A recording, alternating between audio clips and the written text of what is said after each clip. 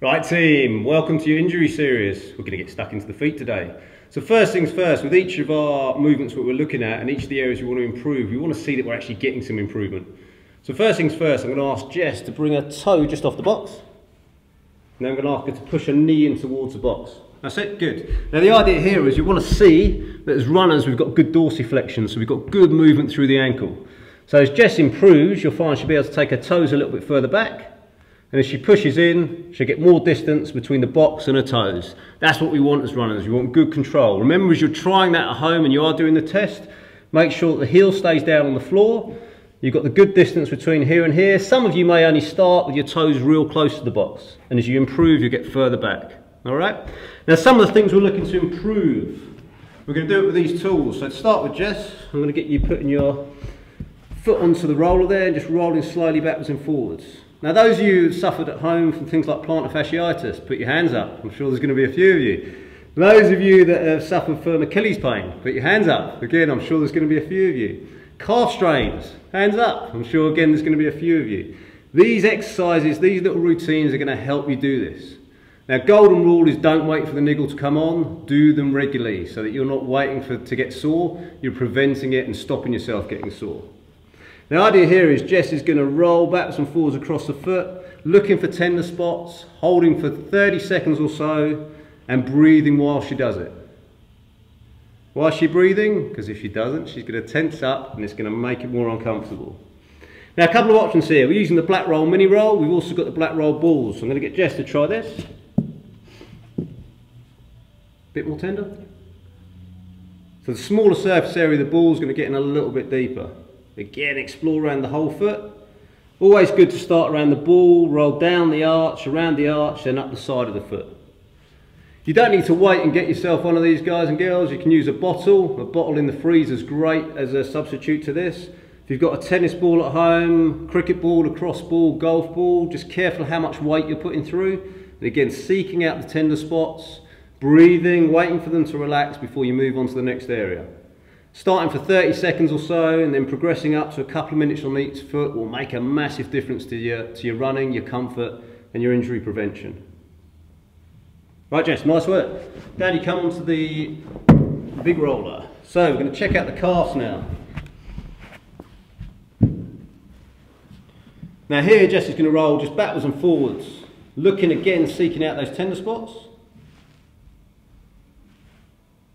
Nice, as she finds them, she's going to hold, breathe. She's going to use her mind to tell that area to relax as well. Nice job.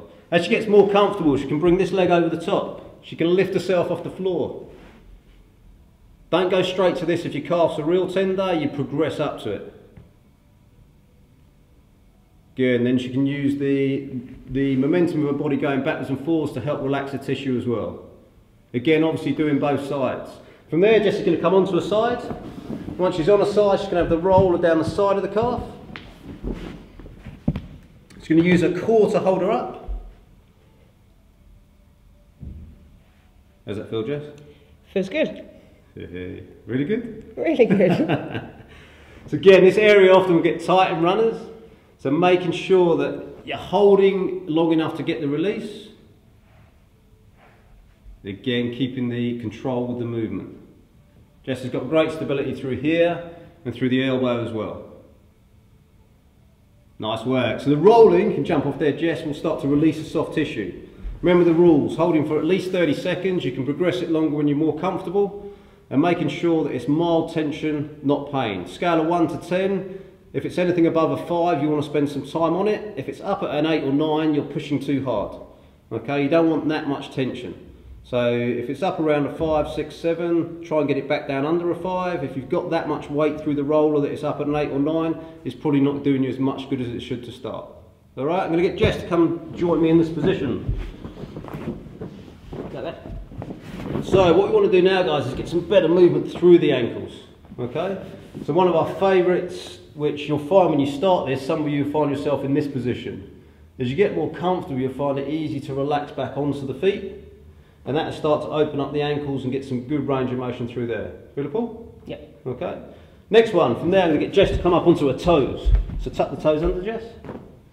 You see there guys, this one's great as you probably feel. Feels really nice. Okay, great for opening up the toes and great for stretching out through the fascia along the bottom of the foot. Okay, again, you stay there as long as comfortable. For some of you, if you lift your bum up, Jess, some of you may only be able to start here and not put all the weight through. That's fine, you progress up to it when you're ready. Ease back down. Feels good. Nice work. Okay, so again, those two options to add in. From there, Jess, going to come up. That movement we started with, so I'm going to get Jess now, toe just off the box, pushing in, holding for a couple of seconds, then easing out. So we're going to work that movement a little bit further and really start to get the, the ankle open. Good, Jess? Perfect. Keep that foot nice and straight. Good. Slowly back. Good. From there, Jesse's going to take one leg back, nice and straight, other leg bent. Now this is the traditional calf stretch that most of you are probably doing. Straighten that foot up a bit more for me. That's it. And try and keep a high arch there. That's it. Good. Heel into the floor. That'll get through the nice long part of the calf. Okay, that'll stretch out right over through the big, big part of the calf. This is the one that most runners will do. They've just missed all the bits that we've already gone through in advance.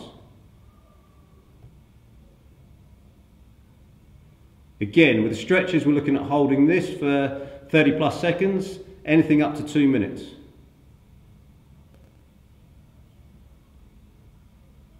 Good, he's out there, Jess. Perfect. Right, from there, come back down onto the mat for me. Good. Now we spent some time opening up the muscles. Jess apart fine now, she's probably got better range of movement through the foot. We're going to test again in a minute. All I'm going to ask you to do now, and you can get someone to do this with you at home, is I'm going to put some weight across the front of her foot, pull on the heel of her foot, and get her to pull it against my hand. Good. Hold for a couple of seconds, slowly back. And same again. Good. Now the reason we're doing this, and I want you guys and girls at home to do this 10 or 15 repetitions with a hold of a two second count at the end. So as Jess pulls in, we're really stimulating the muscle here, the tibialis anterior, to tighten up. The reason we want that to tighten up and start working better is it's going to help give you a better arch. It's going to help support the ankle better now that all of this muscle is lengthened. Remember, once you've lengthened the muscle, you want to give the joints some control as well. It's that muscle that's going to help give it the control. Jess, if you jump back up, let's have a little look now and see if you're getting a better range of motion.